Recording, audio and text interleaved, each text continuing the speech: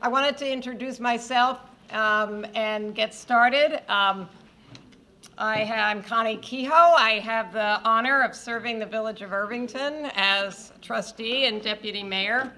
Um, I'm going to, we'll quickly get in just a moment to our three speakers, John, John, and Janice. Um, and they're listed in your program. So I want to make sure you all have this yellow sheet. Looks like this, um, which will simplify our introduction to our speakers. Does anybody not have one of these?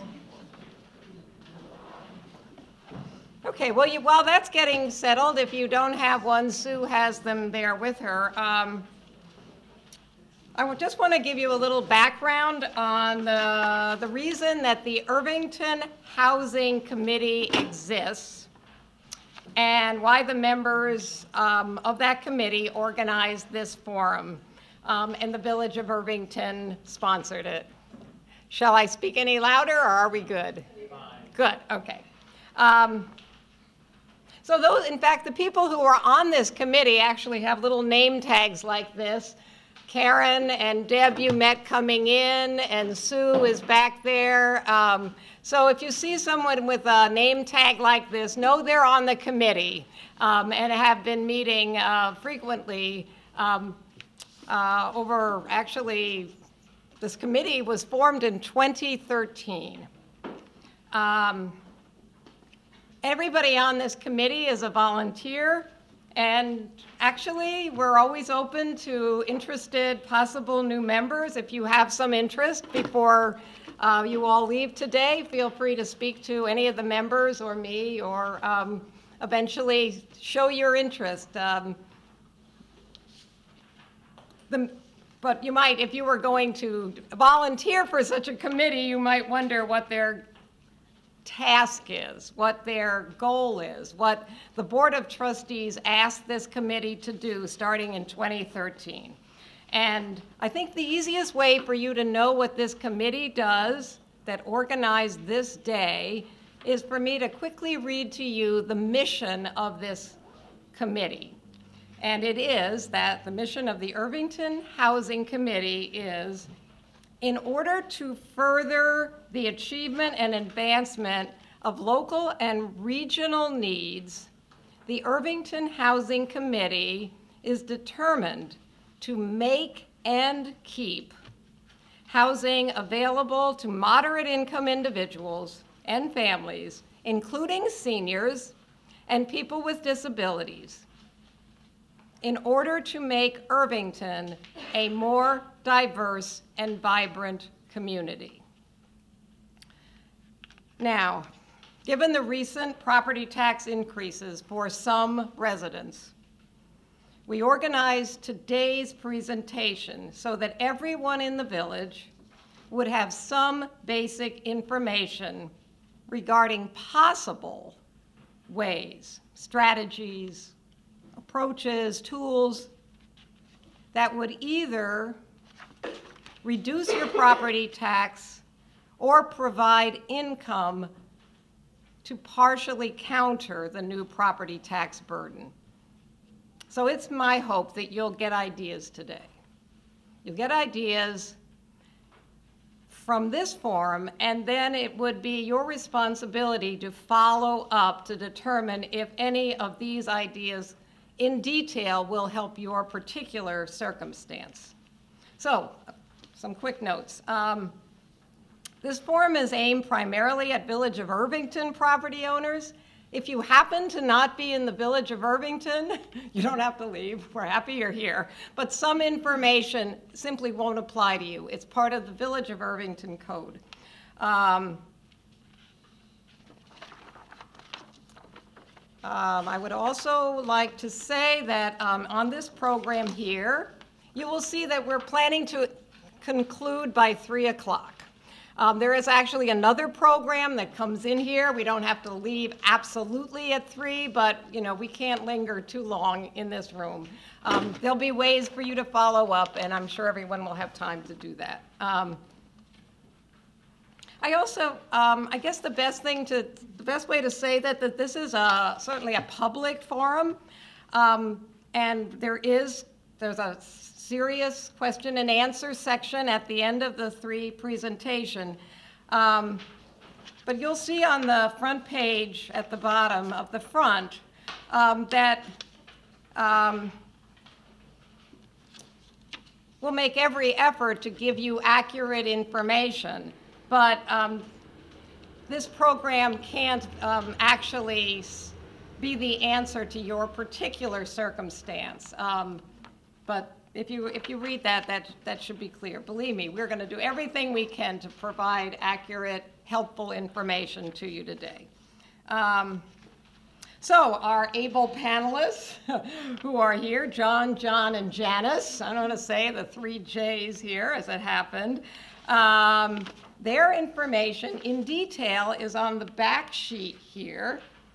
Um, I will, I will tell you uh, just a, a, little bit about them, and I'll also introduce Karen Schatzel, who is a committee member. She's actually going to um, be the moderator of this. So um, if, if we're going too long, she may tell someone to say less.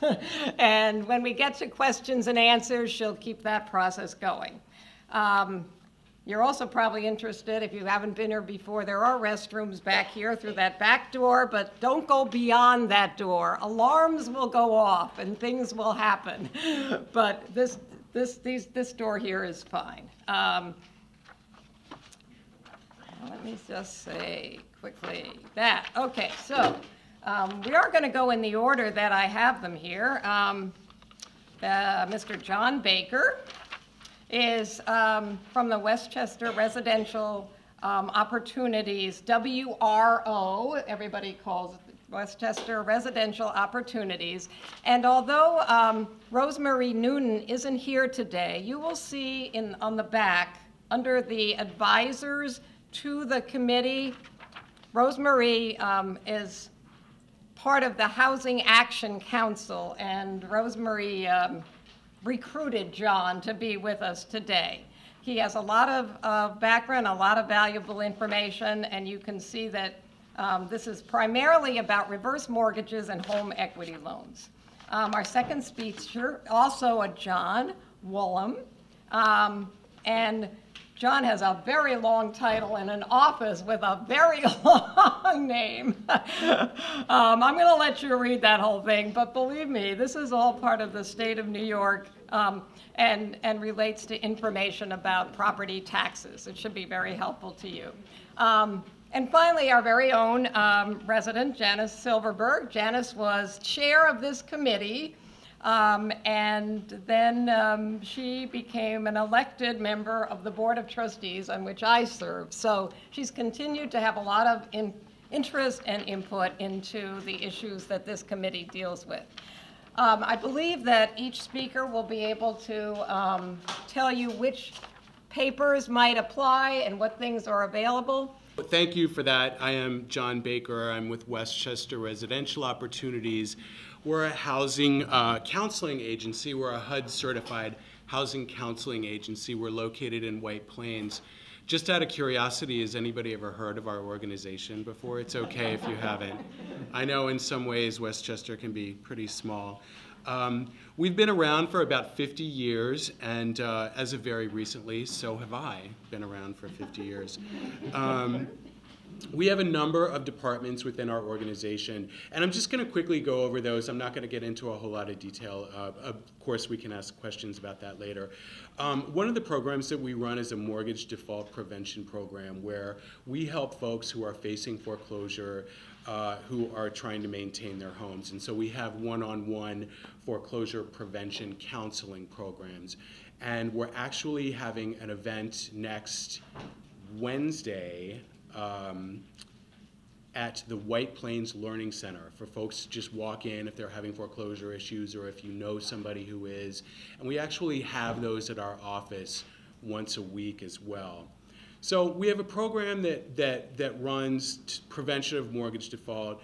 We also have a fair housing department which monitors rental sales and lending markets for discrimination in housing. And often that's done through a process called testing, where two individuals are sent out who are very similarly situated and they have uh, an interaction with a housing provider. That department as well is also having uh, a seminar on December 9th taking place at the Pace Law School. Uh, so I was asked to give a shout out about that event uh, that's taking up in, coming up in December. We're always looking for testers. We pay them uh, to go out and visit apartment complexes if you know of anybody who might be interested. We also have a senior housing department, which is a program that I run. And that has three main areas, including senior housing counseling and a shared housing program. And also, we conduct counseling on reverse mortgages. And I'll just go over those very quickly uh, in turn. Our one-on-one senior housing counseling program primarily pertains to renters or folks who are downsizing out of their homes and they're looking to access more affordable housing options. So we try and get together with people and have a conversation about what they're looking for. We talk about income a little bit. We ask about what things might be looking people might be looking for, where they want to be, and we make sure that we are bringing up all um, benefits that folks might be eligible for. One of those is the STAR exemption and the enhanced STAR exemption uh, pertaining to real estate taxes. So that's our one-on-one counseling area where we meet with people, and that's free of charge uh, we do ask that you make an appointment with us at our office in White Plains. We also run a shared housing program, which is what it sounds like. If folks have housing that they're interested in sharing, we try and match them up with people who might be looking for housing. Admittedly, it is not, I see a head shaking back there, it's not uh, what everybody wants to do. It's not for everybody, uh, and that's perfectly understandable. We're not selling anything there. We just try and make the programs available to those who might be interested. Maybe it's a win-win situation and somebody might be able to find themselves in a house as opposed to a smaller studio or one-bedroom apartment that they might get at the more affordable level. So uh, we try and speak with people about that program and we ask a lot of questions about why folks might want to be doing that and if it's a win-win we try and, and match that up and make that happen.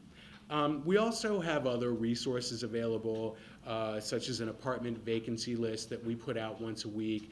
Um, you know, again, this is more pertaining to the rental market, but it's just um, WRO staff culling things from the internet and from newspapers and things like that, and we just amalgamate it onto one list and we make it available uh, either in our offices or um, by email to people if they're interested in getting that. So I've mentioned the one-on-one senior housing counseling and also our shared housing program. And I personally, uh, in our senior housing department, do a lot of the reverse mortgage counseling. So I'm going to talk about that a little bit more. And I'm going to emphasize the counselor part of what we do. We don't sell reverse mortgages. We don't have a stake as to whether you get one or not. Um, frankly, for me, the jury is still out on, on those products in general. Um, I know that there's a lot of, uh, uh, I'll say, confusion uh, about these products, and maybe there's not a lot of understanding about them. So I'm just going to uh, try and illuminate folks a little bit um, on, on these products. Um, I don't know if this is too personal or not, but has anybody thought about getting one? Does anybody have one? Does anybody know? Are most people like, what the heck are those things? Um, Henry Winkler, who was the Fonz, has a commercial on television that some of you may have seen advertising reverse mortgage products. Uh, so um, you'll probably see more of that. Um, reverse mortgage products are a way to access part of your, of your equity as a homeowner. Um, I emphasize that it's a way to access part of your equity. A lot of times folks thinks, think that they'll be able to access all of their equity, and that is not the case. Uh, it's a percentage. It's based on your age. Homeowners have to be 62 in order to get a reverse mortgage, uh, and the value of your home, and how much you owe on the home. Those three things will be will determine how much you're able to access for a reverse mortgage. I think of them as a deferred payment loan. It is that. It is a loan. You are able to access the funds immediately. Um, but it is something that has to be paid back when one of three things happen. Either the youngest borrower dies, or they sell the property, or they decide to move.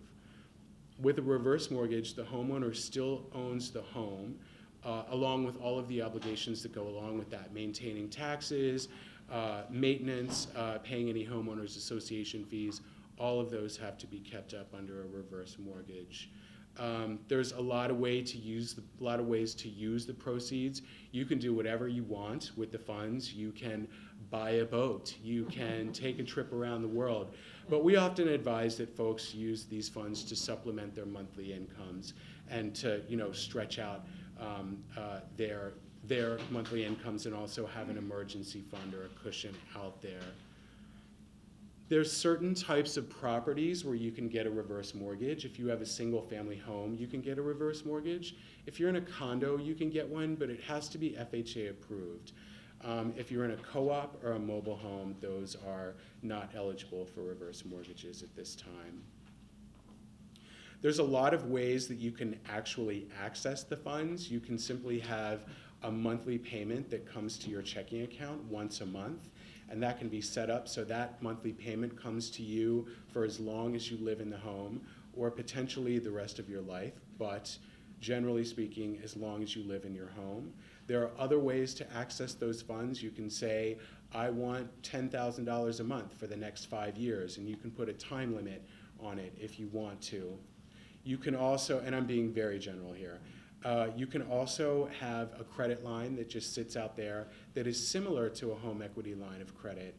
Um, and then there are other sort of combinations of those types of plans where you can have a monthly payment and you can have a credit, uh, a credit line sitting out there. So it's very versatile in the ways that you access the, the money. Um, and you can change it anytime you want. So at closing, it's not set that way for the life of the loan. You can change it as much as you want and as often as you want. I think they charge, the lender will charge like $20 to do that. By law, they're not allowed to charge you more. So it's very flexible. Um, in terms of just an example of how much you can access, oh, and I would also point out that any funds from a reverse mortgage are tax-free. Um, in terms of how much you can access, I just as an example, I worked with a woman who lived in Westchester. She uh, had a home valued at $500,000 and she owned it free and clear. She was 81 years old and she was able to access $363,000. Uh, and she was able to uh, divide that uh, as, as many ways as she would like. But that's just a rough estimate of how, uh, how much of the funds are available. May How I- am I doing? for May I time? interrupt you Yes, for just a please. Can you hear in the back? You can all.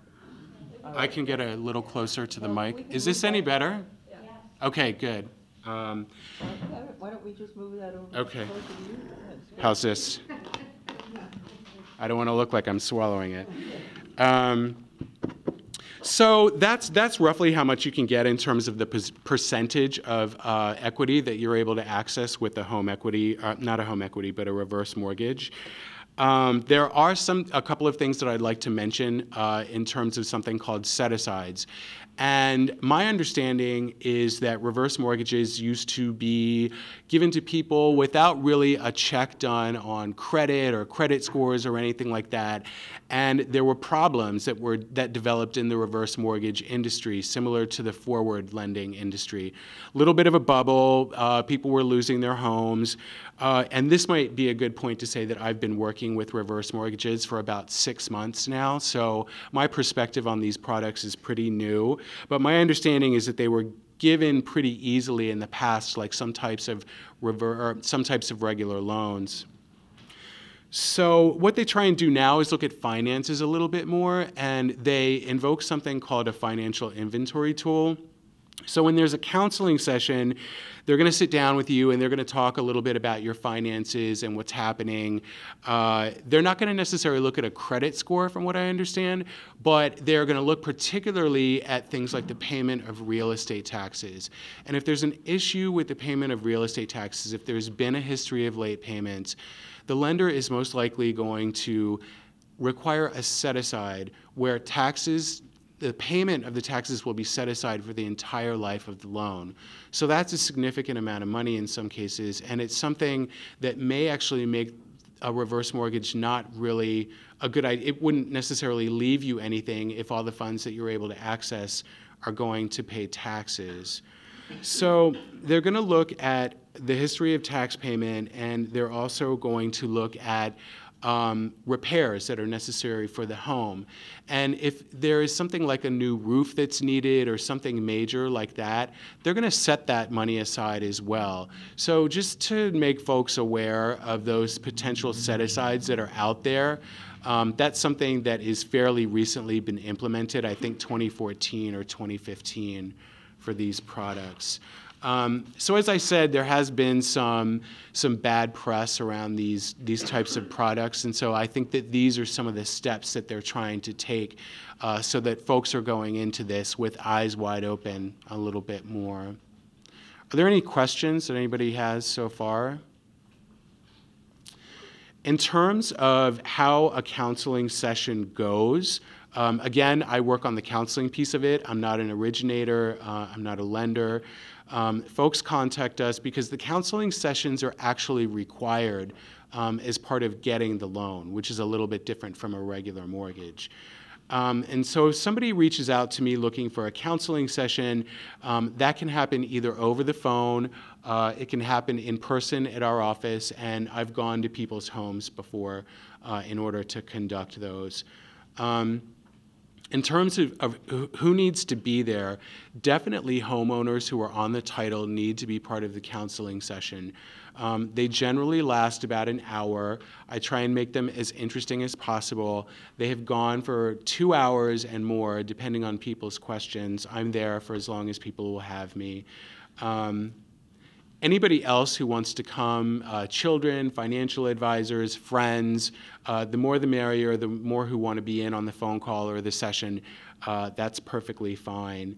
Um, I go over the costs of reverse mortgages, including the uh, closing costs, which are significant to set up a reverse mortgage, just like they are for a regular mortgage. Um, we do a little reverse mortgage 101. We cover annual mortgage insurance premiums, which are also uh, a piece of the puzzle. How the balance of the loan grows because there is interest charged every time you access those funds, and the potential borrower needs to be aware of that. Um, we do go over the different payment plans and what the obligations of the borrower are, i.e., to continue to pay taxes and keep up the maintenance. Um, one thing that I do mention, and I, I, haven't mentioned it yet, is the potential effects on other public benefits if you have a reverse mortgage sitting out there. Um, reverse mortgage proceeds will never affect Medicare or Social Security.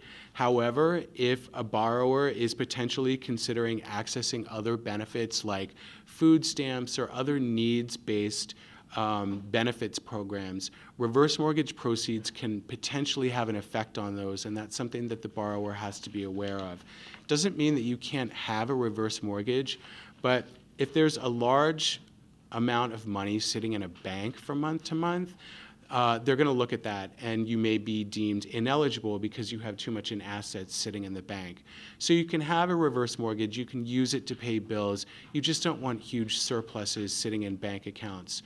Um, so, um, you know, that's, that's something that I make people aware of as well. So that's really kind of everything I had. I just really wanted to provide some factual information on reverse mortgages and maybe demystify these products a little bit. I have some brochures and some cards that are on that table over there. Uh, I am happy to answer any questions that folks might have in the remainder of the time, and uh, feel free to let me know if you have any other questions. I think we'd like to uh, keep the questions for the end of the program. So uh, we would, I, I would like to present each of the uh, speakers first, and then we'll go to questions. Um, and I'm, I'm saving one for you, but I just want to save, say that WRO, or Westchester Residential Opportunities, is a very well-known agency here in Westchester, and uh, very highly thought of. So uh, I know that John will be available and willing to respond to all of your questions. Our second speaker has come to us uh, from a greater distance. Uh, John Wallum is from the New York State Office of Real Property Taxes, and he's going to be talking about some of the uh, property tax exemptions uh, that are available and grievance procedures. Grievance procedures are something we're just starting to learn about here in this community, so I'm sure everyone will be eager to hear about it. Can I ask you to pass that over? Absolutely. Mr. Wallum? Thanks.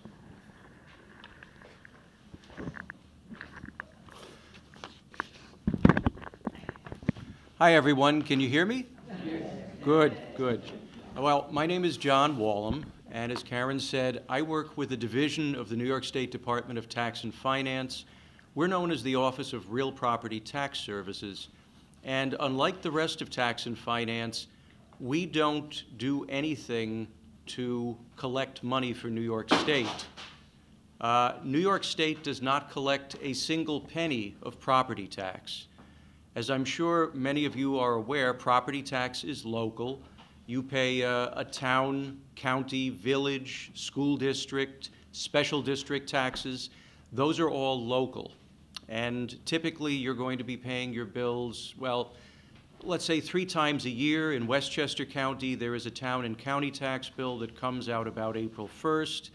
Uh, The Village of Irvington is a non-assessing unit. I believe your bills come out about June 1st each year. And then, of course, there are the school bills that come out September 1st each year. Regardless, as part of the state, we do have a role in property tax administration. So we issue equalization rates, we work with municipalities that do reassessments, we train assessors, we administer a software that most places use in conducting their assessment administration. So that's just a little bit of background. Uh, I will say, just so I don't forget to say this, the yellow sheet has my contact information. It's got an email address and a phone number. If down the road you have questions, feel free to give me a, a call or send me an email. What I need to point out, however, is that this has the address of DTF's office in White Plains, and I need everyone to understand DTF does not have an open office policy. So please, to save yourself some time, don't visit the office expecting to speak with me or anybody else. You unfortunately will not be granted access. So again, if anyone does need to contact me, email or phone is the best way to do that. So without further ado, I have a whole series of handouts over on that far table. I just want to run through some basics of what they are for your reference, and then, of course, get into some of the topics that Karen mentioned. Uh, First of all, there are two documents that are very general. One is an overview of the assessment roll, and the other is one about property tax bills. These are very general. I'm not going to spend any time on these now, but they provide you information as to what you can learn about your property and the basis for the property taxes you pay each year. And again, just by way of quick review, there is a, since the Village of Irvington is not an assessing unit, it gave up its assessing unit status, the assessments that generate your village tax and certainly whatever town tax you may pay, in addition to county and school district taxes, are all developed from the town of Greenburgh's assessment roll. The town of Greenburgh publishes a tentative roll June 1st of each year. That roll becomes final on September 15th. And then each time tax bills are generated from that roll, there's what's known as a tax roll generated, which is the basis of the bill. So again, this is going to give you information that you can learn about your property and your property's value, and also whatever exemptions you may be receiving. I'm going to leave, again, I'm going to leave this off to the side. We may refer to it or aspects of it a little later on. Just want to talk very briefly about a few state programs that are meant to deal with property tax. And actually, before I go any further, I'd just like to get a sense of the audience. How many folks here are homeowners? Okay, so virtually everybody. And by homeowners, I'm also including condominiums or cooperative apartment units. So really, we don't have any folks who are renting here. Everybody here is a homeowner. And just out of curiosity, is there anyone here who purchased their home after, on or after May 1st, 2015? Okay, two people. All right. Reason I ask that will have to do with something about the STAR exemption program, which I'll be talking about a few minutes later. But there is a distinction now. There have been some changes in STAR we'll touch on. So that's good. The last time I did one of these, there wasn't anyone who purchased their home after that, so I didn't have to go into that aspect of STAR, but I will today. So, at any rate, there are a, there are a couple of state programs that are meant to try to help people with property tax burdens. One of these you no doubt are already familiar with, or hopefully you're aware of it. It was something called the Property Tax Freeze Program. And this is actually, 2016 is the third and final year for this property tax freeze credit. And that program is then being replaced by a successor program known as the Property Tax Relief Credit. And there is a handout on that. So essentially, the way the property tax freeze credit worked, uh, it looked at the property taxes you paid in 2013.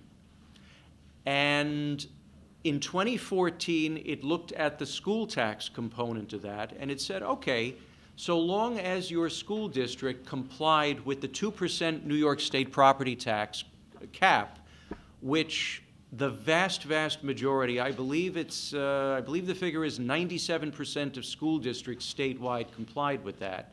I am not aware of any offhand in Westchester that didn't, although possibly there are. Regardless, if it did, if they did, then what would happen is the school taxes you paid in 2014 were compared to what you paid in 2013, and you got a check for the difference.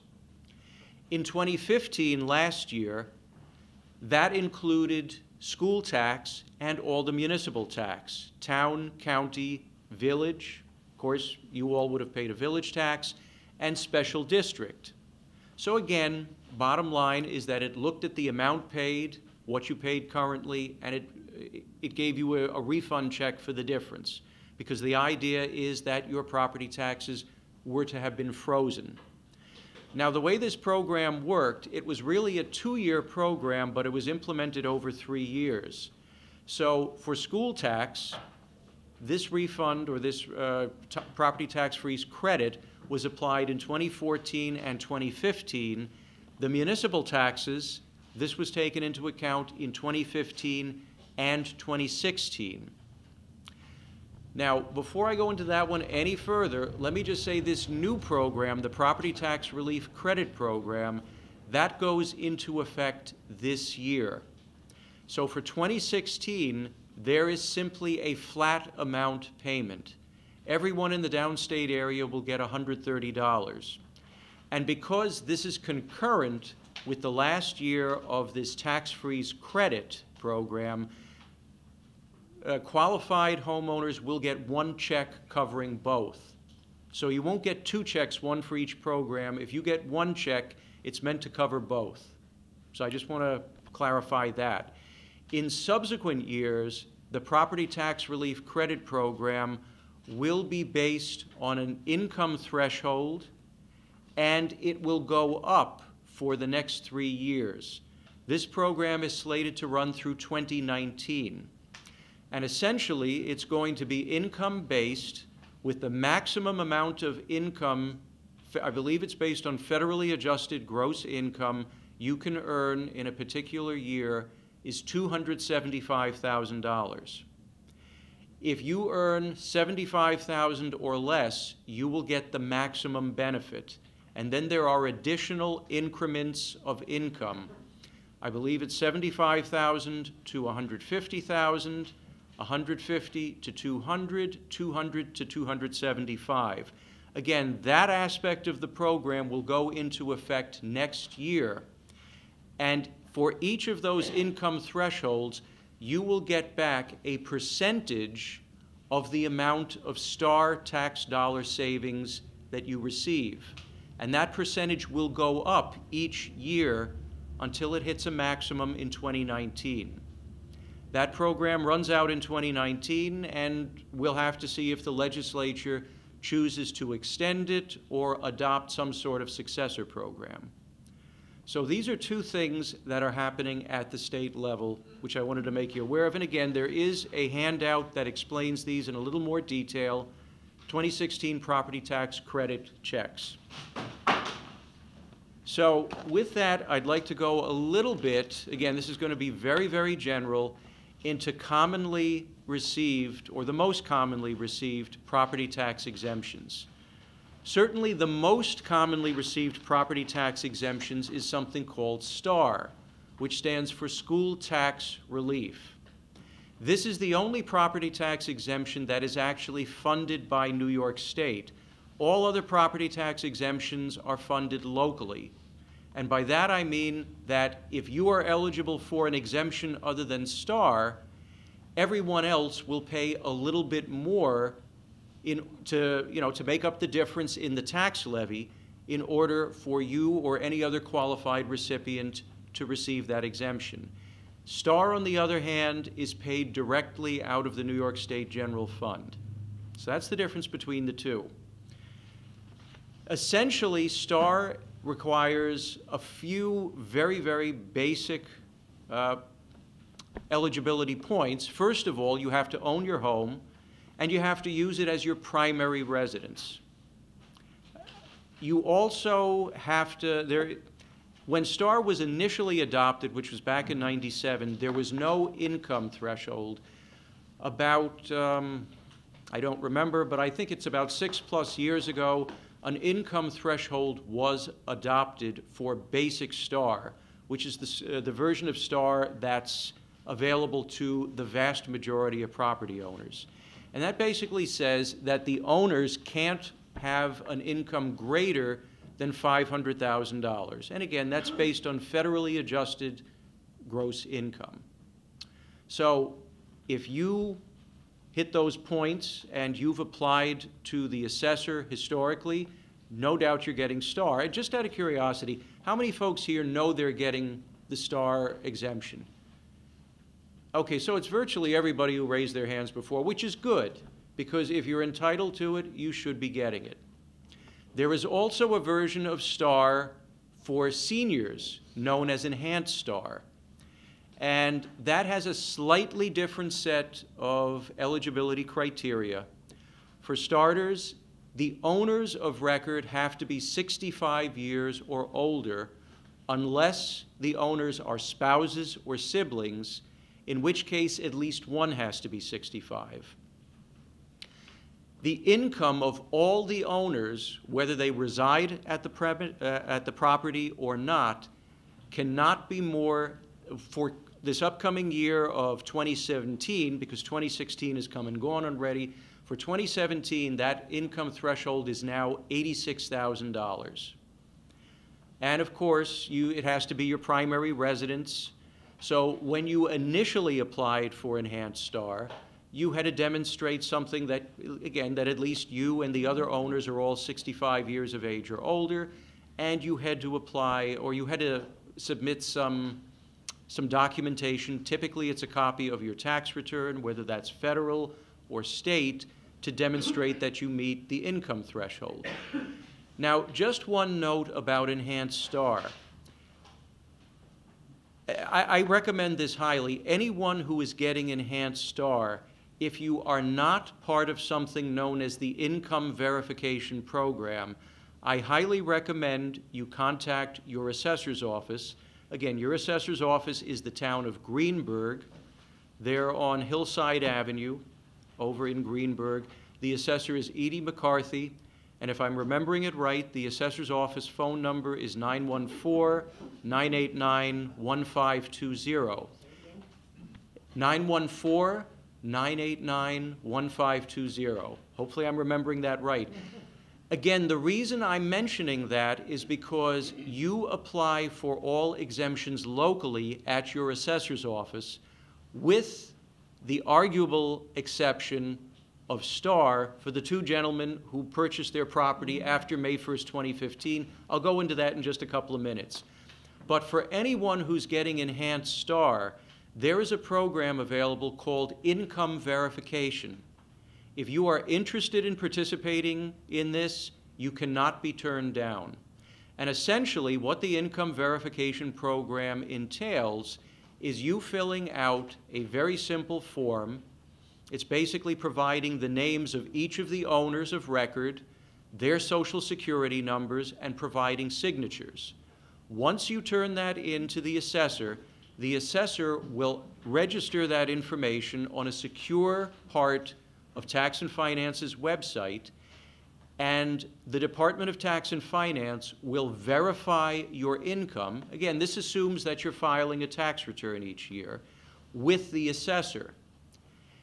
What this saves is you, as the Enhanced Star recipient, having to submit paperwork to the assessor each year verifying that you still qualify under the income level.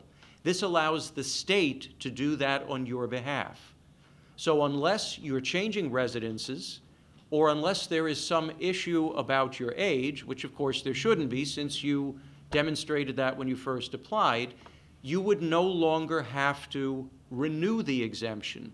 So it saves you time, it saves you paperwork. Again, I highly recommend it. And I know that the assessor's office in Greenburgh welcomes people doing that because, of course, it's less administrative work for them as well.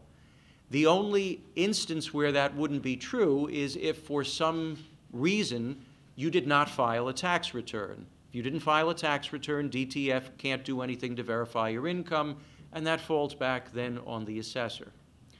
So, for the two gentlemen in the audience and for anyone who purchased their home after May 1st, 2015, STAR this year went through a programmatic change. And essentially, now anyone who is applying for STAR for their home for the first time, they will now have to register with the Department of Tax and Finance to get STAR. And for folks in those instances, rather than getting STAR as a property tax based exemption, which for everyone else you will continue to see on your school bill for as long as you own your home, those folks will be getting what's known as a STAR tax credit check. And those checks, ideally, they will have already been mailed out. The idea was that since school tax bills are due in September, uh, the idea is that they would have been, those checks would have been mailed by the end of September. Uh, possibly there may be instances due to processing where they may not have yet been received, but the department is working very judiciously to get those out as quickly as possible. So that's the big distinction there. If you have been receiving STAR as a property tax-based exemption, no change. You will continue to get it as a property tax-based exemption for as long as you continue to own your current home. If you change primary residences or if you sell your home and buy another home elsewhere in New York State, whether it's in Greenburgh or somewhere else, you will then enter this tax credit check program where you will have to apply to DTF and you will still get the same dollar benefit, but you will get it in the form of a check rather than seeing it directly on your bill. So enough about STAR. The next most common exemption is the low-income senior citizen exemption. And essentially, this is a program for senior citizens 65 years of age or older who make less than $29,000 a year. To the best of my knowledge, Greenburgh also has some local options in effect which is called the sliding scale. So that means the income can be a little bit higher, but the amount of the exemption is reduced. So right now, if you qualify for the senior citizens exemption and you make under you make either at or under that threshold $29,000, you will get 50% off all your property tax.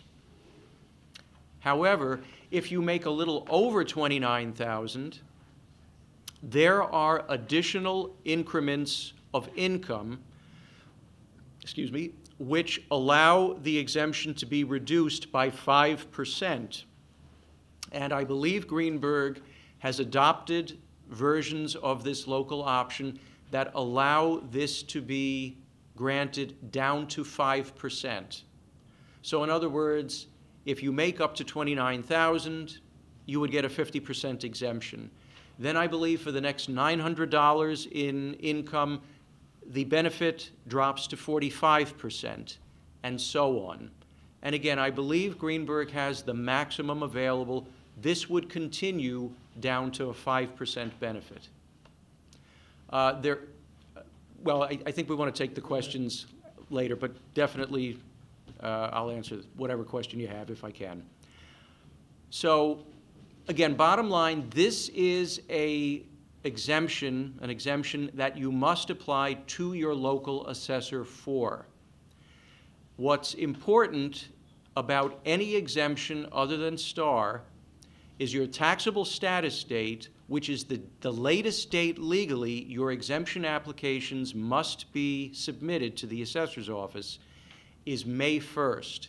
So if any of you feel that you are eligible for an exemption that you do not presently receive, or if you are receiving an exemption like the senior citizen exemption, which must be renewed annually, you must get the, um, you must get your application to the Town of Greenburgh's Assessor's Office by May 1st, this would be May 1st, 2017, or you will not be eligible for it until the following year. Okay. Veterans exemptions, uh, if you have served in the armed forces, basically during a period of wartime, or in a combat zone, or if you have a, a physical disability rating and you have a dishonorable discharge, chances are you're going to be eligible for a veterans exemption. At this point, there are two active veterans exemption. One is known as the alternative veterans exemption, and one is the Cold War veterans exemption. Obviously, there's a distinction in the, the time period of service for each of those. And again, just in the interest of time, I'll simply say there is a, a basic amount of exemption for having served in wartime. Uh, yes, during a period of wartime. That percentage goes up if you served in a combat zone, and there is an additional exemption if you have a physical disability rating. This is also an exemption to which you must apply to your local assessor. However, once you apply and receive this exemption, you do not have to renew it. The other point worth mentioning about both exemptions is that about three years ago at this point, the legislature expanded the alternative veterans exemption so that it now includes a benefit for school taxes if your school district has adopted a resolution to allow that. Similarly, this year, the state legislature did something similar for the Cold War veterans exemption. But again, in order to get that for your school tax, your local school district has to adopt that exemption by resolution. So just a point of information there. The last exemption I'm going to mention, which arguably is the next most common, although there tend to be relatively few occurrences of this particular exemption in any given municipality, is something for folks who have a physical disability and have a low income. The reason we really don't see too many of these is very often, although by no means exclusively, many of the folks who might qualify for this are also over 65, and by law, you can only receive the senior citizens exemption or the exemption for persons with disability. You cannot get both. But effectively, this has the same income thresholds. You can't make more than 29,000, and the law specifies certain criteria by which the disability must must be defined. It's got to conform to the way it's defined in the law.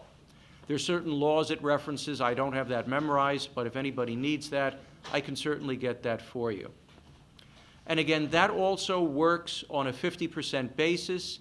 And there is also an, a local option, just like the senior citizens exemption, to expand that decreasing increments of benefit down to 5% based on increments of income that exceed 29,000. So I'm going to leave exemptions alone at this point. I'm going to spend just a few minutes talking about your assessments because frankly, in the general scheme of things, that's probably the most direct thing that any of you as property owners can do to ensure your property tax is fair and you're not paying more than you feel you should. Uh, I know some people may disagree with me when I say this, but you actually are fortunate in that the town of Greenburgh just did a reassessment. The town of Greenburgh last did a reassessment, I believe it was in 1958, which just happened to be the year I was born. Uh, and, and Greenburgh by no means takes the prize. There is a city in Westchester County that last reassessed prior to the Civil War. So the thing here is, the best way I can say this is whether any of us here would agree with this or not, property tax in New York, in virtually all the states in this country, and in most countries in this world, property tax is based on the value of your property, plain and simple. So the bottom line here is if the assessment roll, which is the mechanism from which your property taxes are generated, does not reflect an accurate value for your property and everyone else's, chances are you're not going to be paying the right amount. And the thing about not doing a reassessment, just to put in a plug for that, everyone each year has the ability to grieve your assessment. However, uh, let's, let's think about this for a minute. People who grieve their assessments typically do that because they think their assessment, and I want to be very clear about this, you may think you're paying way too much in the way of property tax, but you can't grieve your taxes. The only point you can grieve legally is the value of your property. Very, very important distinction. Many people go in saying their taxes are too high. The Board of Review will say, we can't help you you have to look at your property's value. And the good thing here is in Greenburgh, whether you agree or disagree, you now have an assessment roll that represents the town's opinion, current opinion, of your market value. And that is a heck of a lot easier for you to deal with than a value from an assessment that's almost 60 years old. So that's the good news. Now, the other good news here is if you take a look at that handout I referenced earlier, the overview of the assessment roll. All assessment rolls are by law required not only to include your assessment, but to include the implied market value. Another bit of good news is that Greenburgh is now assessing at 100% of value. So your assessment and your implied market value are one in the same. There's no mathematics to interpolate what does my assessment mean. If you have an assessment of 400,000, that means the town's opinion of your value is 400,000. And let's also be clear about what that means in terms of time. Because I'm sure since virtually everyone here is a homeowner, you've all had the experience at one point in time of getting an appraisal. And for those of you who remember that, you will probably remember the first thing the appraiser asks is, okay, what is the date as of which you want me to set this value? That's known as the valuation date. And assessors, municipal assessors, have the same obligation. Value is always something that can change, and it will change. So that's why every assessment roll published in New York State has a valuation date. For the town of Greenburgh, that valuation date is July 1st of the preceding year. So the assessments that were published on the town's 2016 roll represented value as of July 1st, 2015. For your upcoming roll, which again is going to be published June 1st, 2017, that's your next tentative roll, when you look at that, that's going to represent a value as of July 1st, 2016. So that's the date as of which you have to measure, is this a reasonable market value? And what's the best way to do that? The best way, plain and simple, is to look at sales. Because certainly for residential property, and I assume everyone here owns a residence, I, I assume we're not talking about any commercial property owners here. the courts recognize that comparable sales or sales of other property is the best and most accepted way of determining value of other residential property. So the best suggestion I can make is to take a look at properties that have sold within a reasonable time frame around that valuation date, which again, for your upcoming uh, 2017 roll, is July 1st, 2016. You want to try to look at sales of property that are similar to yours, the same building style, ideally in the same school district, if not in the same neighborhood, roughly the same size. The more similarities, the more physical similarities between your property and the comparable sales, the better a case you can make that the values you're seeing represent a reasonable way of estimating your own property value if you were to go to sell it. Now, if you think your property's assessment is reasonable, well, you don't have to do anything further. If, on the other hand, you think that it's high, and let's be honest, nobody, it, it's, I've yet to meet anybody who went in to say my property value is too low. If you think it's too high, the first thing that I would suggest you to do is to go in and speak with the assessor's office. If you are able to present reasonable documentation to which the assessor agrees, the assessor has the ability to enter into what's known as a stipulation. And that stipulation is something which presumably would reflect a lower number to which you and the assessor both agree. You don't have to do anything further, and that number is ratified by the Board of Assessment Review. If, on the other hand, you and the assessor don't have a meeting of minds about the value of your property, well, you have the option of deciding whether to file a grievance. Grievance in the town of Greenburgh will always be the third Tuesday in June of each year. There's only one day each year you can grieve your property formally. Again, the third Tuesday in June. I don't remember what the date is for 2017, but it is the third Tuesday in June. And there will be a form you will need to fill out in which you will have to state what your opinion of the market value of your property is, and you will need to provide the best documentation you can offer to substantiate your opinion of value. Because, of course, you want the board to agree with you rather than the assessor. Some people will go get an appraisal of their property. That is not required. If you feel that's necessary, that is an option. Obviously, that's going to cost you several hundred dollars. But not, not everyone chooses to do that, and there is no requirement to do that. But again, if you're going to take a look at the value of your property, certainly the most compelling evidence is the value of other comparable sales. And I know we're on a time schedule here, so I'm just going to leave it at that. And obviously, I'll be happy to answer any questions afterwards, whether it's in the group or privately afterwards. Thank you very much, Joe. That was very comprehensive.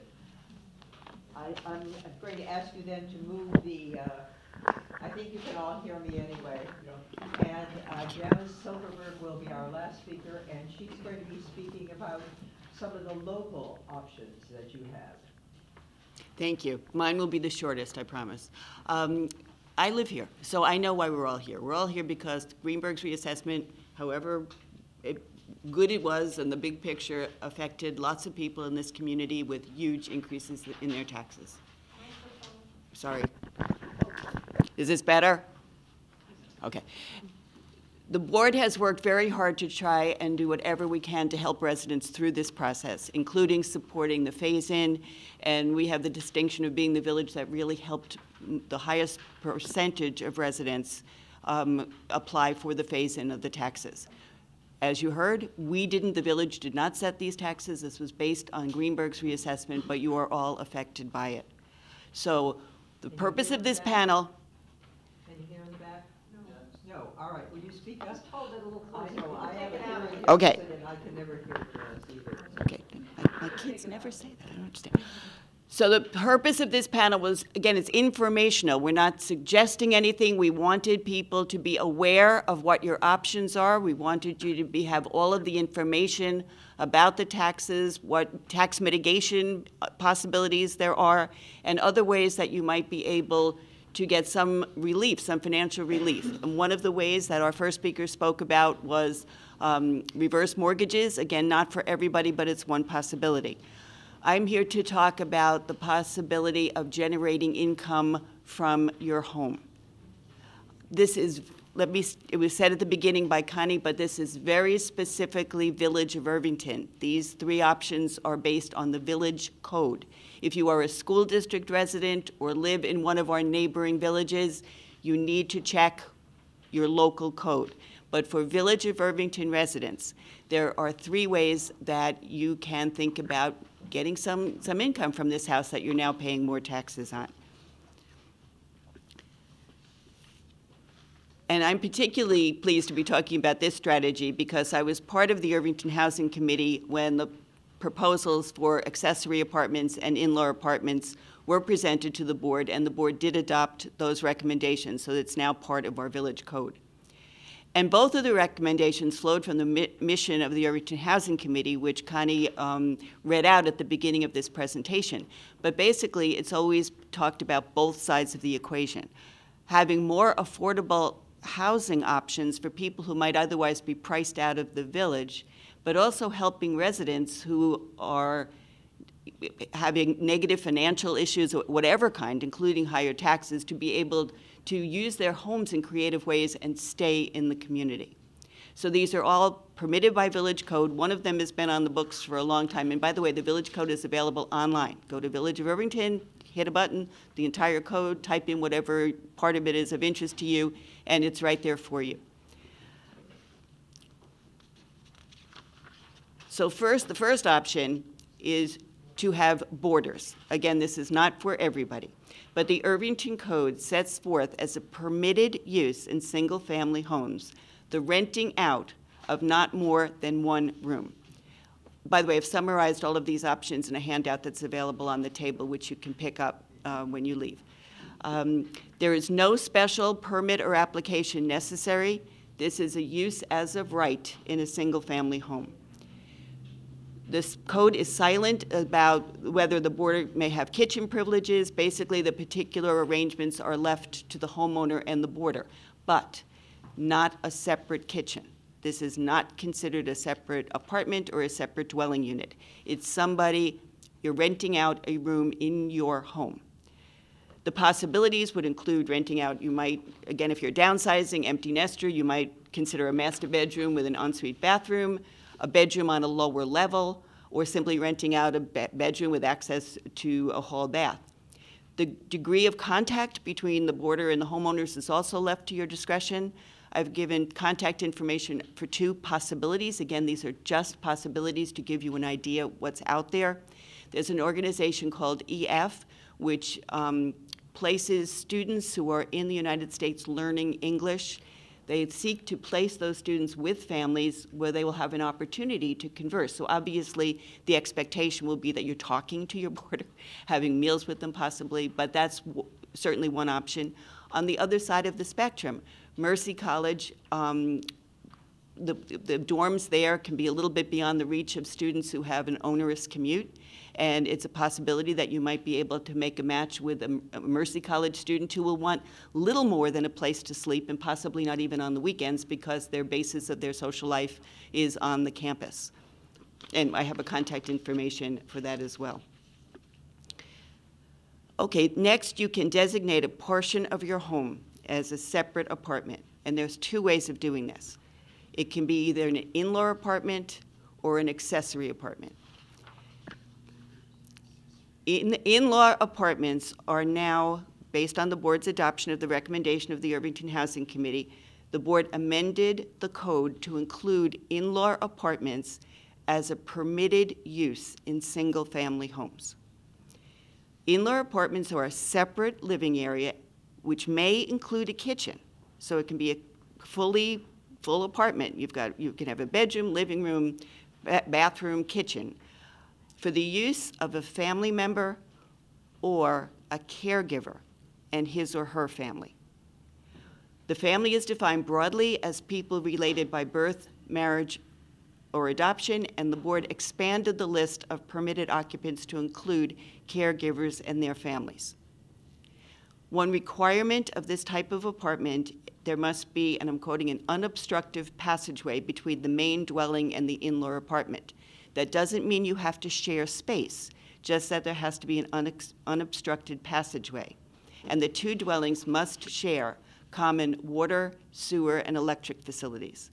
So, for example, such a unit could exist in a finished downstairs as long as the staircase is not blocked off.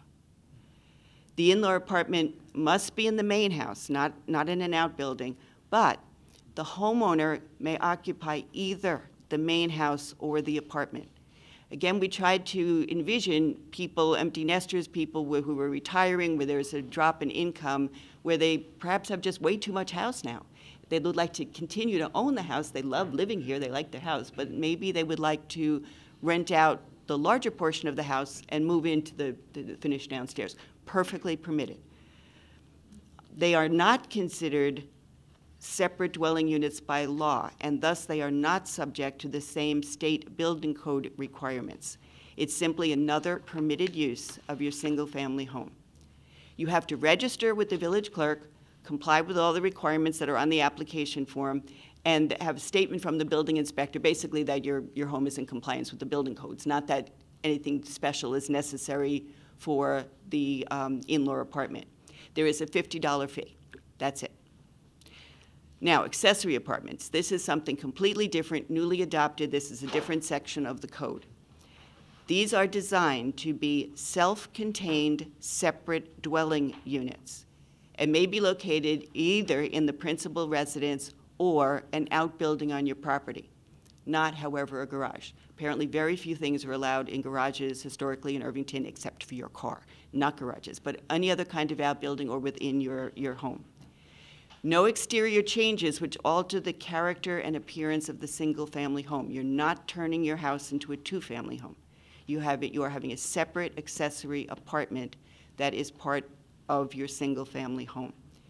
Accessory apartments can be no more than two bedrooms, and the home must have been in its present size for at least five years. Basically, this precludes someone from um, buying a home with the notion of immediately expanding it to include a rental generating apartment. The intent of adopting this was to create an opportunity for current homeowners to set up an accessory apartment within, within their existing homes. The owner must occupy the single-family home, but again, as with in-law apartments, you can live, the owner can live in either the principal dwelling or the accessory apartment. To set up the accessory apartment, you must submit an application to the village, as well as professional, architectural, and site plans, demonstrate compliance with state and village building codes, and have an inspection by the Irvington Building Department. The application must be approved by the planning board, so you have to go through the planning board process. And the planning board will, among other things, consider the effect on the character of the neighborhood, including parking, traffic, noise, and congestion. The planning board can issue a permit if it does for up to three years. There is a $250 application fee and a $100 renewal fee. No more than 50 such apartments may be in existence at any one time. Again, we were looking not to change the character of the village, but to have this specific income generating means on the books for those of you who can take advantage of it. It is important to note that accessory apartments are considered separate dwelling units and thus must comply with the New York State Uniform Fire Prevention and Building Code requirements. That's not anything we can do anything about. This is, this is New York State law. And these include, for example, a requirement that egress doors be a minimum of 36 inches in width. And honestly, because we, we spent a lot of time looking at this, this is going to preclude a lot of the finish downstairs that initially seemed like, oh, this is perfect, this will work.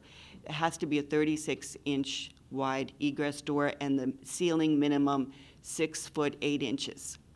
No wiggle room on that. The, the state code controls this. So again, this is not for everybody, but if you can do this in your home or you're willing to put in you know, some renovation to put in a wider door, this could definitely be a possibility. And this would be a completely separate dwelling unit. You don't have to be related to the people, you don't have to have any interaction with them whatsoever. You have an apartment in your home or your outbuilding that you are getting rental income from. Again, there's a one-page summary of all of these three options on the table. Thank you very much, and I think we're going to now go to questions. All right, thank you. I'm sure you all agree, there's been a lot of information given this afternoon. For those of you who feel that you'd like to leave, please do now. However, we will open it up to questions uh, from the audience. And I would ask you, if you are leaving, please help yourself to documents over on the table and just look over everything there. But please uh, try to keep your conversations outside so that it doesn't feed back into the audience. Uh, I will bring a, a microphone out to each of you if you want to ask a question.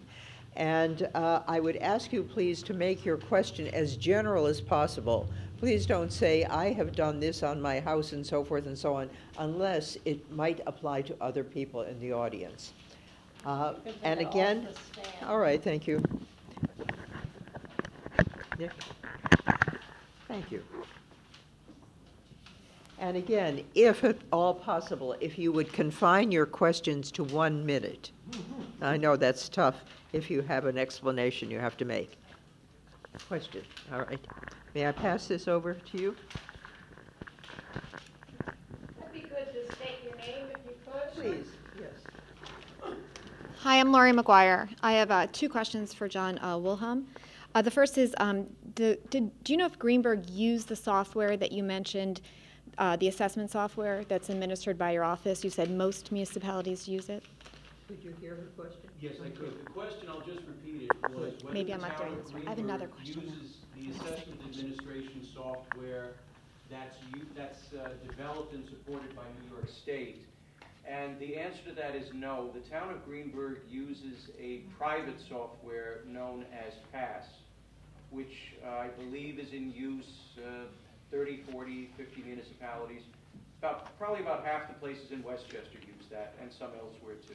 Is that administered by Tyler Technologies, or is that a, a se- a separate software? The follow-up question was, is that administered by Tyler Technologies? I have an actual question, I'm sorry. And, okay, uh, this is a, a little complicated answer. The You can have assessment, the of- mic now, because it won't go on the video. Oh, Not that we okay. can hear, but the video can't hear. Thank you, okay. Okay. Good point, thank you, Connie. okay. Good idea. Thank you. So, okay, just to repeat briefly, the question was about the software that the town of Greenburgh uses. The answer to cover both questions is that Greenburgh, for assessment administration purposes, uses a software known as PASS, P-A-S. It is not the state software. There is no requirement that they have to use the state software. Relative to Tyler Technology, the valuation for the town of Greenburgh's project was done using software which is owned, developed, and supported by Tyler Technologies. I believe the name of that software is iasWorld. So that's where the data was collected, that's where the valuation was performed, but the valuation information was brought back to the town's pass system for purposes of generating the 2016 roll. I have a second question. Um, Wait, wait, wait.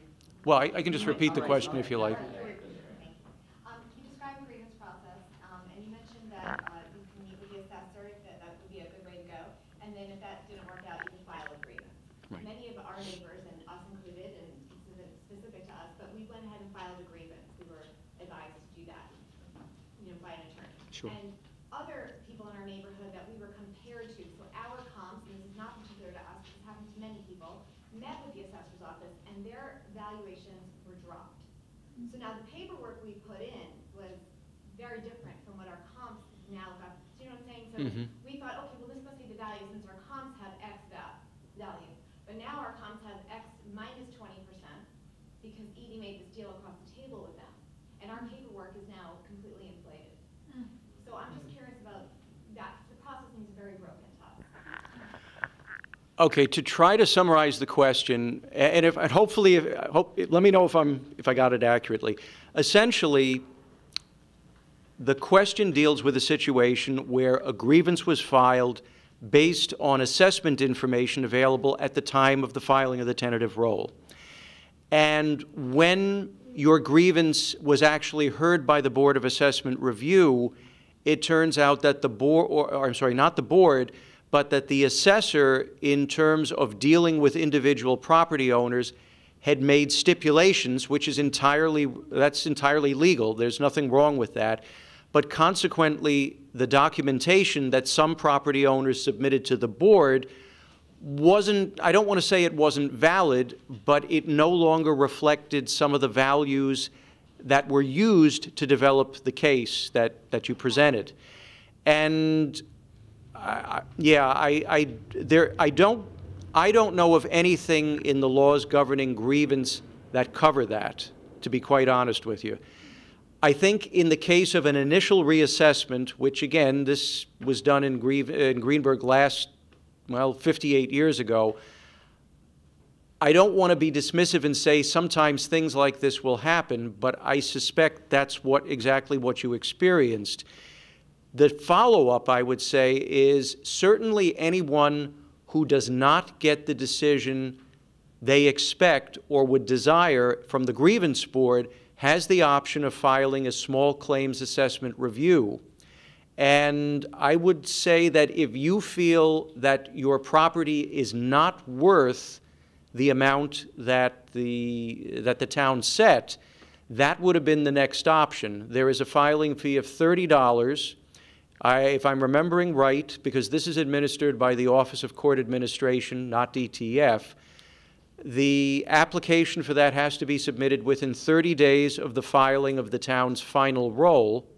And then at a certain point, based on the scheduling of these, uh, however many are filed, your case will come up to a small claims assessment review hearing officer who may or may not be a judge, may, may be someone hired by the Office of Court Administration with a lot of knowledge about real estate, who will hear your perspective and we'll also hear the assessors. Obviously, the assessor is going to defend her value in this case, but certainly, to the best of my knowledge, there would be nothing preventing you at that point from preparing revised documentation that would take that into account. My recollection of the process is you cannot ask for anything less than you asked for on your grievance filing. That's where the concern is, because we're, we're going against our comps. Yeah. And we dropped the, co- you know, Edie made these stipulations with our neighbors. Yeah. And dropped their comp, and then now our comp, we're way higher than our comp. Yeah, no, that, that is something in the law, so the, the only thing I could advise you there is if ultimately you don't get a result that you find satisfactory for the, from your uh, SCAR hearing from 2016, you certainly could and should look at how those values are for the 2017 tentative roll. And there again, you'll, you'll just want to go through the same process. Thank you. You're welcome. Questions? Anyone have any questions? Question for Mr. Baker. Uh, In that case you gave of the woman who had a $500,000 free and clear home, she applied for a uh, a reverse mortgage and got $363,000. Why would she have not been better off just getting a mortgage on that property, having less paperwork and, and maybe even saving money in the net cost of it?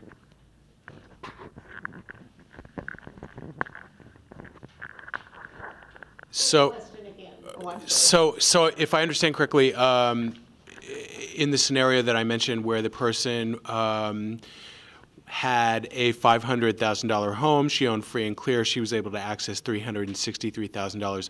Why wouldn't she get a mortgage? Uh, Instead of doing, going that, through that process, just simply getting a mortgage for an amount that might even be higher than 360. So, uh, if, I guess, if I'm understanding the question correctly, I guess what I would say is she was looking to supplement her monthly income uh, from, from, are you saying from selling the home or? Getting a mortgage on that property for $300,000, she would Right. So I guess I'm unclear why, why she would get a mortgage. I, I, I just, Instead of a, instead of a reverse mortgage. Uh-huh. Outright mortgage, since she owned the property free and clear. More like a finance. I, I don't, I'm sorry, I don't think I understand the question. I, What do you mean like a finance? Are you saying a home equity line of credit? Oh, okay, all right. Okay, that, I, I thought you were saying take a mortgage out on the house where she would, okay. Um, so I'm gonna guess here, I, I think that, um, maybe, uh, there might be tax implications, I'm not sure. She potentially might never have to pay the reverse mortgage back if she just wants to hand over the home to the reverse mortgage. That would be my guess. Also, I think that she's thinking, I might, I don't want to put words in somebody's head, but I think that uh, maybe she's thinking, I'm here for the long haul. This is it. I'm going to stay here until, you know, I'm going upstairs. And this just allows me to access as much as I want, when I want, tax-free. Uh, I, I think, I, I would guess that was why she would pursue something like that. But you know, there's also costs associated with that as well. I mean, there's a cost to uh, to set up a reverse mortgage. It could be twenty thousand dollars to set one up.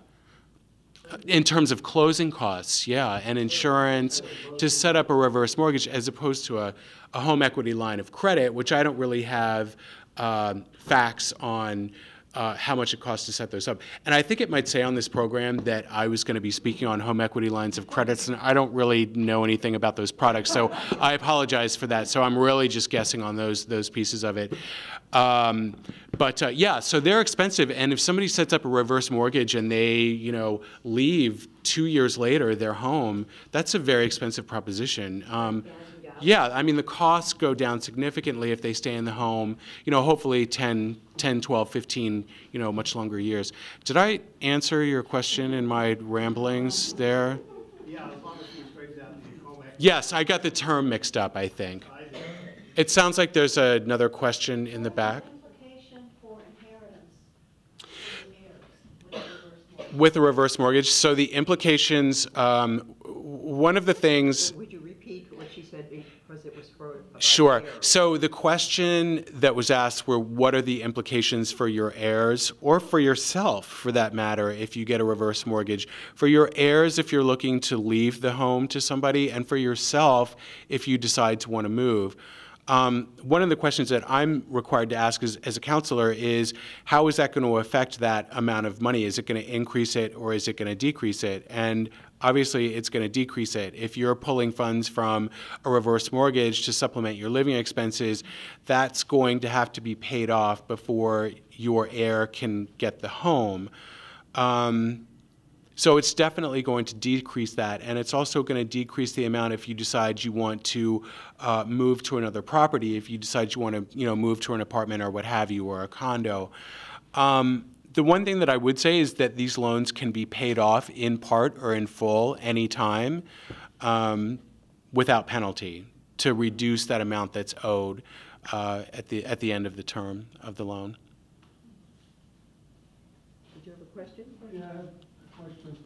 Uh, this is all great, uh, being able to rent out a room in your house and everything else, but doesn't that affect your 1040, line 37? Push you over the eighty-five thousand dollars, and now you won't get the star, exempt star, or, correct? Going to be my question. All right, would, uh, would you repeat I that? assume Sure. that's the line we're His talking question about on that whenever we also. talk senior exemption and all this, it's line thirty-seven on your ten forty, right? Yeah, yeah, the, the gentleman's question is about the potential effect of getting some form of rental income, uh, you know, through the programs that Janice described, and is it possible that that could increase your income to the point where you might not be eligible for other benefits? And I'll be the first to say I am not conversant in income tax, I just do property, but I, it, yes, it's, it's certainly a consideration. If hypothetically you're getting, well, let's say you're getting the low-income senior exemption as a property tax-based exemption, which is, of course, you know, that's a maximum of 29,000 unless the, um, the sliding scale has been adopted locally. If you do choose to get a boarder or have uh, an in-law apartment or what have you, yes, your income is going to be considered income. And certainly, whether it's DTF or whether it's the local assessor for the senior citizen exemption, and I will just point out that the way income is calculated for purposes of the senior citizen exemption is different than that for star and enhanced star. But bottom line is, yes, if it's income, potentially it could count. So this is all part of the, the decision-making process that everybody needs to make in terms of what's going to end up the best, work the best for you individually.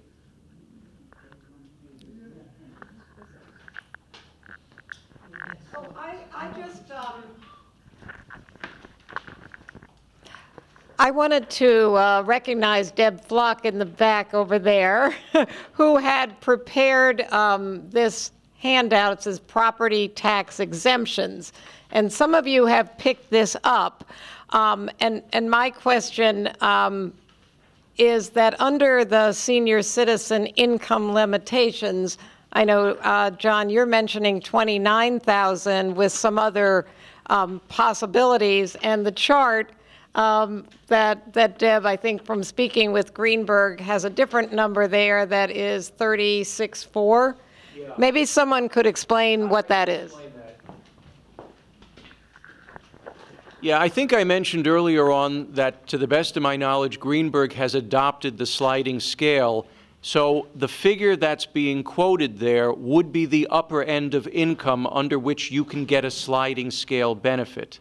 Now, of course, if you're getting uh, that 36 and change figure, you're not going to be getting 50% off your property tax. You're going to be getting the reduced sum, uh, a reduced percentage. Uh, when was the slide, uh, sliding scale, uh, decided? And for how long it was, it lasted? And, uh, in the future, will Oh. this figure uh, be the same forever, or it will be adjusted? Okay. Okay, the question was about the sliding scale for the senior citizen exemption. When was it adopted? Uh, how long will it last? What will happen in the future? The sliding scale option is something that was passed by the New York State Legislature. It is a local option, so towns, cities that offer the senior citizens exemption, and villages for that matter, can choose to offer that. Uh, the, I don't have dates. I do know, again, this is part of the law. It's a local option, and the town of Greenburgh and the village of Irvington would have had to have voted on that. When they would have done that, I don't know. As far as how long it will last, so long as that local law remains on the books in the village of Irvington and the town of Greenburgh, it will continue. The only way it would potentially change is if at some point the state legislature were to change the income amounts. Uh, every once in a while, and again, I don't have any specific time frames, but uh, someone may go to the legislature or their legislator and say, look, the $29,000 income threshold to get 50% off, we think it's time that that should be increased. And when and if that were to happen, that would, of course, affect the sliding scale because that would have to be adjusted upwards. When that happens, I have no idea. Uh, I will add one more. The amount of twenty-nine thousand of, uh, about eight years ago and twenty-nine thousand dollars of income this year is quite different. So this income, income level will be same, uh, for a while, uh, or? Yeah. I mean, in the past, I think it was same for several years. Yeah. So how about this year and next year, we have Thank you. Yeah. Yeah, the, yeah, the, the question really is about the $29,000 maximum income level in order to get the 50% reduction in taxes through the low-income senior exemption, uh, the property tax exemption. And of course, I think the question is, how long is that going to last? Because $29,000 of income eight years ago doesn't buy as much today as it did, well, eight years ago. And again, the only answer I can give you is what I said a few moments ago. That amount is in state law. So that would really require the state legislature to pass something that would increase that. They would have to make a change to real property tax law 467. If that's something of interest to you, the only suggestion I could offer is for you to discuss that with your state representatives, your state assembly person and/or your state senator. If you have to, um, make under a certain amount, you, for having to pay no school tax to. Uh, If I understood the question right, you're, you're saying that if you make under a certain amount, do you still have to pay school tax? The only way I can really answer that is to say that if you are eligible for the low-income senior citizen exemption, you will still pay school tax, but it will be reduced by 50%, or by whatever amount you qualify for under the sliding scale. But yeah, there's, um, short of a property being tax exempt, I, I don't know of a way that uh, somebody really gets a complete wash on their property tax. I mean, arguably, yes, I have heard of situations where someone owns a condominium, or more generally, this happens with co-op, uh, cooperative units, a, a, a co-op apartment, and someone will, let's say, qualify for several exemptions, like they'll qualify for STAR, maybe a seniors, and maybe a veterans. And cumulatively, because the value of that co-op apartment is relatively low, there are some limited instances where that may exceed the value of the assessment on that unit, and then they don't pay a, a tax for school purposes. But for people who own homes, it's, uh, I don't honestly think that happens. The gentleman in the back, could you stand up and, and, uh, or should I bring the microphone over? My question was on the accessory apartment. I assume if you're in an accessory apartment, creating an accessory apartment, your tax valuation is gonna go up. Is that a fair assessment? It hasn't happened yet. Yeah, we, we honestly haven't had one yet. Um, I'm sorry, the question was whether if you do set up an accessory apartment in your home, your home will be va- evaluated differently for tax purposes? It would not be, uh, the next reassessment perhaps, you know, but it's not going to affect your current assessment, I don't believe, but I'm going to ask you to weigh in on that if you know. Okay, I'll try. Um, I have to say up front, I am not an appraiser, so I'm just offering, offering you some general thoughts. I would say that it would really depend on whether the assessor felt that increased the market value of the property. And whether that increases the market value of the property, I would think, my, my layman's thinking here, is it would depend on if the property could be sold with the right for the new seller to continue to use that area as an accessory apartment. If that goes away when you sell the property, then I would tend to think the, the likely answer, though I'm not going to guarantee it, is probably no. If, on the other hand, you as the owner could sell that building and say, well, look, I have a, you know, a, a valuable commodity here because there, there can only be 50 accessory apartments in the village, and this is one of them, so you as the new owner can continue to generate some income, then I think it's, it's reasonable to think it might affect the market value of the property to some degree, but I couldn't quantify that. And just, and that, one part of that I can answer. The new, if, an- if a house with an accessory apartment is so- sold, the new owner must apply for a continuation of use as an accessory apartment. And obviously, the- if that's going to push it over 50, uh, hard to see that would happen since this is one of the group. But the new owner can reapply, so it can continue if the new owner so wishes.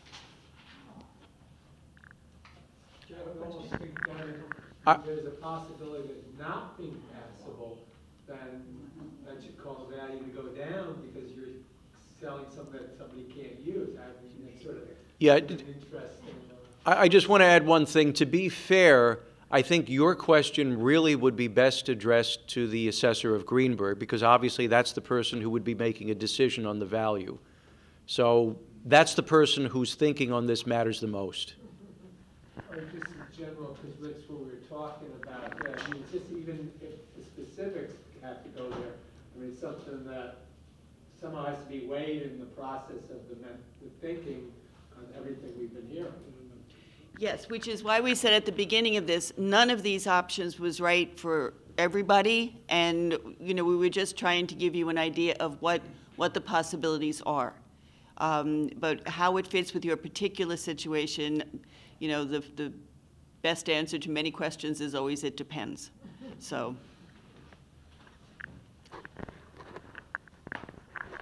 If there are no more questions, I would like to thank uh, the panel on behalf of the Irvington Housing Committee, and also call to your attention again, the addresses, the contact information is on the reverse of this sheet. And remind you that, as Mr. Wolam said, the office of the uh, New York State Department of Taxation and Finance in- is not in White Plains, as it indicates here. He, it it is, but it it is not open to the public. But on the other hand, he can be contacted at the telephone number or the email address. And certainly, John Baker's office is open to the public, and he, his contact information is here. And of course, we know Ms. Silverberg is available to us all. Right, and I also, I'd like to thank Karen and the speakers and the committee members and uh, our AV folks as well. So thank you all for coming, and please follow up. Uh, Again, we do have a little time for them to hang around. Thanks a lot. Help them, help them.